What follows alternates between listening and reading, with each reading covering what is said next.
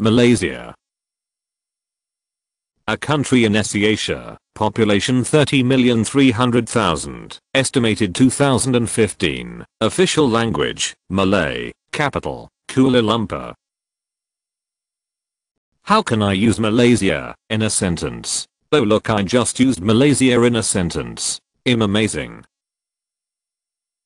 M L Y S I A Malaysia